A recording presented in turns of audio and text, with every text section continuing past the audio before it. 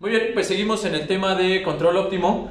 Vamos a determinar las tres trayectorias que es la variable de estado, la variable de control y la variable de coestado para este funcional, el cual está sujeto a estas restricciones. Vamos a ver cómo se hace.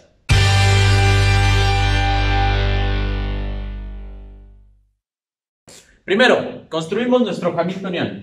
La función hamiltoniana h es igual a la función objetivo 3tx menos 4u cuadrada más 5x y a eso le sumas lambda que va a multiplicar a la ecuación de movimiento a esta parte de aquí, o sea, lambda por x más u.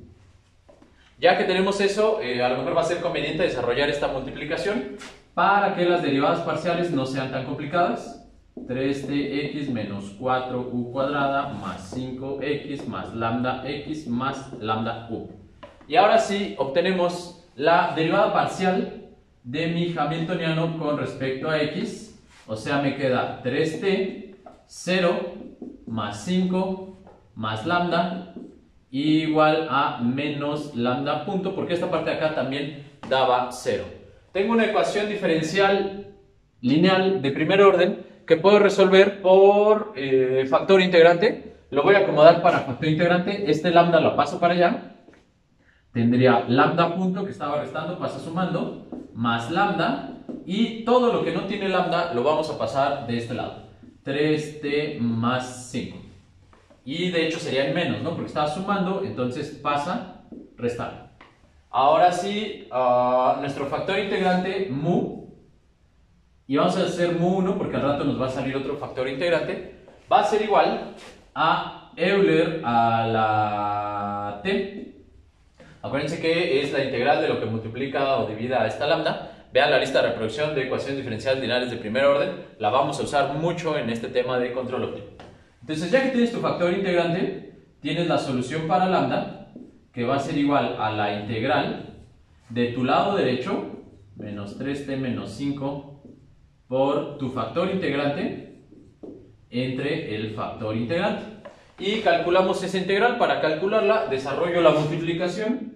Me quedaría lambda es igual a menos 3t Euler a la t menos 5 Euler a la t de t entre mi factor integrante. Ahí está. Fíjense que puedo integrar este de manera independiente a este de acá. Entonces la integral de este la vamos a resolver por el método de tabulador.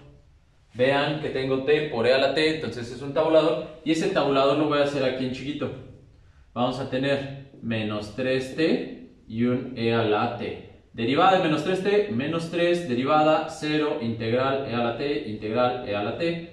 Los multiplico entre ellos y aquí pongo un más y aquí pongo un menos. Entonces, esa parte de la integral me va a quedar como eh, menos 3t e a la t más 3e a la t, que fue la solución de esta parte de la integral nada más. Ahora, esta integral pues, está bien sencilla, el 5 se queda y la integral de e a la t da e a la t. Entonces ponemos menos 5e a la t más una constante de integración entre e a la t y hacemos una simplificación, me va a quedar lambda. ¿Están de acuerdo que puedo separar la fracción este con este, este con este, este con este y este con este? Entonces, eh, todos estos tres que tienen Euler, se elimina su Euler, porque está dividido justamente entre Euler, y 3e a la t menos 5e a la t, pues queda menos 2, pero dijimos que a la t se va a eliminar, entonces así lo dejo, menos 2, más C1, pero este Euler se lo voy a subir e a la menos t. Como C1 era el único que no tenía Euler, pues iba a conservar su fracción entre Euler, pero lo subimos para mayor practicidad. Entonces ya tengo aquí la trayectoria para lambda. Ya que tenemos lambda, obtenemos la derivada parcial del hamiltoniano con respecto a u. Ya habíamos calculado con respecto a x y desarrollamos. Ahora calculamos con respecto a u y nos va a quedar la derivada de esto con respecto a u es menos 8u, esto me da 0, este me da 0, este me da 0 y ponemos más lambda y siempre vamos a igualar la derivada con respecto a u a 0. Ya que tenemos esto, entonces despejamos u y tendremos que lambda es igual a 8u y que u es igual a lambda octavos. Y como ya teníamos lambda, pues entonces lo dividimos entre 8. La u óptima va a ser menos 3t menos 2 más c1 e a la menos t entre 8. Y ese sería el valor para u. Por aquí ya tengo entonces a lambda, ya tenemos a u y solo me falta calcular x, que acuérdense que x es mi variable de estado. Entonces, en esta ecuación diferencial vamos a sustituir y tendríamos x punto es igual a x más u, pero u vale todo esto. Entonces, más el menos 3t menos 2 más c1 e a la menos t entre 8. Y esta es una ecuación diferencial de primer orden lineal que vamos a resolver también por el método de factor integrante. Entonces la acomodo para factor integrante. Acuérdense que para factor integrante tenemos que poner todas las incógnitas, funciones o, las variables x de un lado y todo lo que no sea la x del otro, ¿no? las variables independientes. Eh, entonces me quedaría menos 3t menos 2 más c1 e a la menos t entre 8.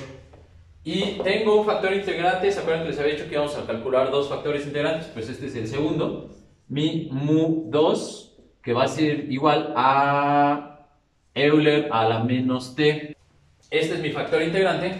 Entonces ya para terminar, o casi terminar, pues ponemos que x es igual a la integral de tu lado derecho, que es todo esto, menos 3t menos 2 más c1 e a la menos t por tu factor integrante e a la menos t de t entre eh, ah bueno falta ahí el 8 vamos a ponerlo así todo sobre 8 entre tu factor integrante pero este entre está fuera de la integral entonces eh, con esto resolvemos ya la solución para x. De nuevo, si no, están entendiendo por qué, vean la lista de reproducción de ecuación diferencial lineal de primer orden. Calculamos esta integral y para calcularla desarrollo la multiplicación.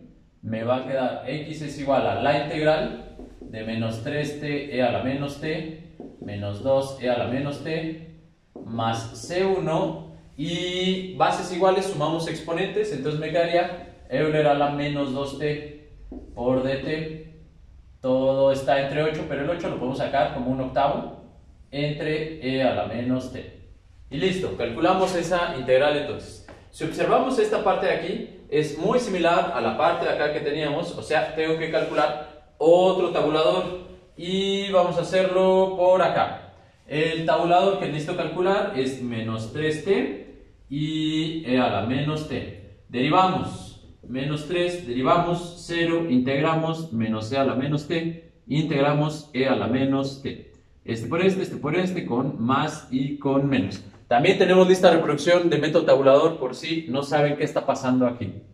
Entonces ponemos x es igual al octavo que estaba ahí afuera de la integral, que va a multiplicar, y esta parte, nada más esta parte, sería esto, menos y menos da más, 3t e a la menos t, y menos y menos de más, más 3e a la menos t, y esto resuelve esta parte de la integral. Ahora, este de acá me quedaría, eh, vean que tengo un e a la menos t, y por cambio de variable, pues nada más hay que completar con otro menos, y como ya hay un menos, se vuelve más, más 2e a la menos t, y de este lado algo muy similar, pero como hay un menos 2, sería menos un medio. C1e a la menos 2t más C2. Aquí tenemos una constante integración y todo va a estar dividido entre e a la menos t. Entonces, mi x es igual a... Vean que tengo e a la menos t aquí, e a la menos t acá y e a la menos t y todo el mundo tiene e a la menos t, excepto la constante integración que queda hasta el final de la integral. Entonces vamos a poner que x, ya voy a borrar esta parte de aquí, que x es igual a 3t octavos y a la menos t se va a cancelar más 3 y 2 son 5 y e a la menos t se cancela para ambos términos. Y vamos a tener, bueno, 5 pero octavos por el 8 de ahí afuera. Y ahora tendríamos menos un 16 por el medio y el octavo de C1, entonces C1 16 y E a la menos 2t entre E a la menos t, pues restamos los exponentes y nos quedaría E a la menos t más la constante integración que habíamos comentado por E a la t positivo. Subimos ese Euler que estaba dividiendo con la constante integración y nos queda este valor para x. Ya tengo aquí la trayectoria óptima para la variable de estado, para la de control y para la de coestado. Lo único que me haría falta entonces es calcular el valor de las constantes de integración y eso lo hacemos con ayuda de nuestras restricciones. x en 0 igual a 0 me quedaría 0 y pongo un 0 en cada t que yo me encuentre, o sea, 0, este 5 octavos se queda y los Euler se vuelven un 1. Entonces vamos a poner 5 octavos eh, menos C1 16 avos más C2. Acuérdense que Euler a la 0 me da 1. Y esta ecuación bien la podemos escribir como menos C1 16 avos más C2 es igual a, y el 5 octavos lo paso del otro lado de la ecuación para poderla resolver ahorita por algún método de solución de sistemas de ecuaciones. Entonces vamos a resolver ahorita esta ecuación, pero para eso me voy a apoyar de la siguiente ecuación que obtenemos de la siguiente restricción. x en el tiempo 10 es igual a 2. Entonces en vez de poner x pongo un 2 y en vez de poner el tiempo pongo un 10 yo tendría 10 entre 8, eh, eso es un 5 cuartos, y 5 por 3, 15, 15 cuartos, más 5 octavos, y de este lado tienes menos C1 16 avos, Euler, y acuérdense que lo estamos poniendo con el tiempo 10 a la menos 10, más C2 Euler a la 10. ¿Cómo me va a quedar entonces esta ecuación de aquí?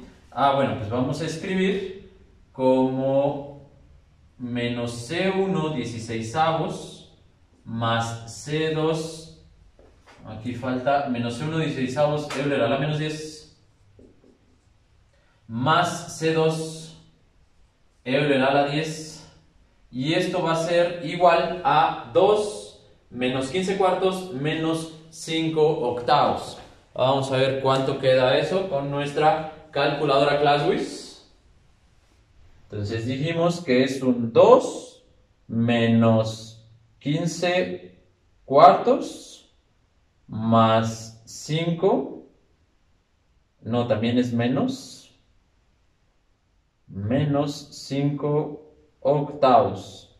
Y eso nos da menos 19 octavos menos 19 octavos. Y voy a resolver con nuestra class ClassWiz esta ecuación junto con esta otra. Y con eso vamos a ver los valores de C1 y C2. Acuérdense, con la calculadora ClassWiz nos vamos a la opción ecuación función. Le ponemos simultáneo de dos incógnitas y escribimos los coeficientes. En este caso tengo un eh, menos un 16 luego un 1, menos 5 octavos, y acá abajo tengo menos un 16 por Euler, vamos a poner por Euler elevado a la menos 10, y acá tengo un Euler a la 10, ¿no? Entonces ponemos Euler a la 10 y por último un menos 19 octavos. Listo. Le damos igual y tengo que el valor de la constante 1 ya no me cabe en ningún lado. Vamos a hacer un pequeño espacio por aquí para escribir mi constante 1 es igual a 9.99, mientras que mi constante 2 es de menos 1.078 por 10 a la menos 4. Y ese sería el valor de la constante 1 y 2 que vamos a sustituir en las trayectorias óptimas. En ese caso, aquí, aquí en U y en la variable de costado. Y con eso terminamos nuestro ejercicio. Pues ya quedó muy feo, no, no, no ocupo. Normalmente siempre sucede eso, ¿no? Con nuestros ejercicios de control óptimo. Son, son muy, muy, muy grandes y cuesta trabajo, ¿no? Que quepan en un solo pizarrón. Pero ahí está. Eh, espero que lo hayan entendido. Nos vemos en el siguiente video.